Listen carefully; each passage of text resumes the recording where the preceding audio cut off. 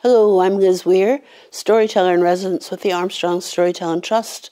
We've been working with Northern Ireland Museums Council on a project called Museums Tell Stories. And during the course of this work, we've been working with Fermanagh County Museum in Enniskillen Castle. And they were telling us about the renovation of the Enniskillen Workhouse. And during that work, they found a concealed shoe. Over generations, shoes have been hidden within buildings. And I have a story that links the workhouse period with the whole idea of concealment. People said it was to ward off evil spirits. But my story comes from a wee bit further away, from Donegal, where there was a family called O'Connor, a father and mother, a little boy called Sean, maybe five years of age, and a baby girl called Kathleen, Katie for short. They lived in a thatched cottage owned by the landlord, but of course, when the famine came, potatoes failed, they couldn't pay the rent. So one morning, very early, the landlord's men came and evicted them from the cottage. And the young mother stood there with the babe in her arms, saying, I need to get back to the house. I've left something in the house. No rent, no house. So the whole family were sent to the workhouse, where the men were separated from the women, the children were left, and within a week, baby Katie died of the fever and was buried in a big famine pit with all the other fever victims. The young mother weakened daily. Any blush she had in her cheeks failed, and eventually she died, they say, of a broken heart.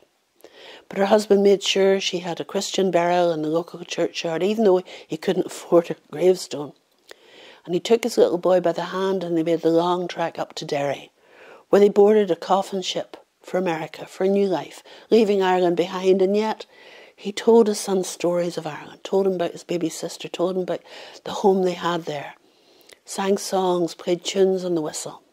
When they got to Boston, well, they lived in an Irish neighbourhood. The young man got a job working on the tall houses that were being built at that time. His son Sean went into the building trade, and generation followed generation, the O'Connors did very well. Until they decided to come back to Ireland to look for the place where their ancestors had left many years before. It was easy enough to find the churchyard, and they arranged for a stone to be put up for the great great granny. And then they went looking for the old cottage. All that stood there were four walls, roof had long since caved in, but there was a for sale sign he said, We're going to buy it. People said, You can't buy that house. Why not? It's our house. It's our family home. No, it's haunted. Nobody can stay in that house, for they hear the noise of a baby crying night after night, even walking past it. They said, It's our house. Well, they used their building skills, and soon it was a lovely whitewashed cottage with a straw roof, lovely thatched roof, painted up half door and windows.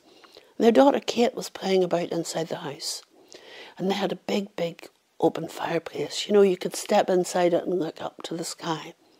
And she had heard stories as to how halfway up the chimney there was usually a hole where people would have kept salt to keep it dry, and curiosity made her put in her hand. She caught something and pulled it out. It was a piece of ragged cloth.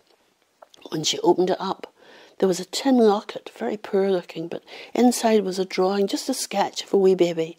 And it said Katie. 1847. This is what the great great granny had wanted back into the house for. She took it to her father. They knew exactly what it was. They'd heard the story of the concealment, of getting back in bring up something that was lost. They wrapped it carefully. They put it in the grave with the great great granny. And nobody ever heard the crying baby again.